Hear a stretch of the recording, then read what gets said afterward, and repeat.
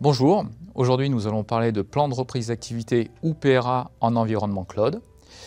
Il est aussi nécessaire de dire qu'avant de parler de PRA, il y a un préalable qui est le plan de continuité d'activité, le PCA, qui est un document stratégique qui permet de fournir le cadre de mise en œuvre du PRA. Il définit de nombreuses choses, mais des éléments qui sont structurels pour réaliser votre PRA, qui lui se situe au niveau du système d'information.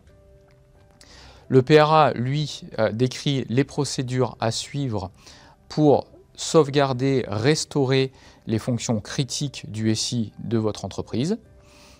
Et bien entendu, il va se réaliser sur une plateforme indépendante le plus possible de la plateforme où tourne votre SI critique. Pour cela, le cloud vous offre une capacité d'extension remarquable de votre infrastructure et vous allez être confronté à des choix par rapport à l'offre euh, de ces cloud providers, avec des capacités de vous conformer plus ou moins facilement à de la réglementation locale, géographique, étatique, ou avec des capacités d'innovation plus poussées, comme le montre ce diagramme.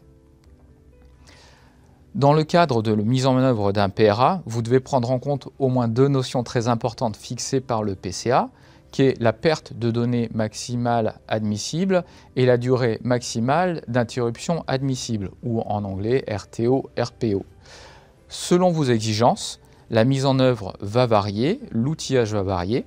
Ce que nous vous proposons dans le groupement Atos Open, c'est de suivre une procédure pour mettre en œuvre ce PRA, à savoir l'activation de ce site de secours avec la construction de ce qu'on appelle une landing zone, la validation, la définition des outillages, des méthodes de réplication avec les tests techniques de ces outils, puis la synchronisation de vos données et des applications critiques, des validations fonctionnelles pouvant se faire de manière complètement isolée sans impact sur votre SI, et bien entendu après de le jouer à l'échelle et d'être dans une démarche d'amélioration continue. L'intégralité de cette procédure est disponible via l'UGAP grâce au groupement Atos Open. Merci et à bientôt.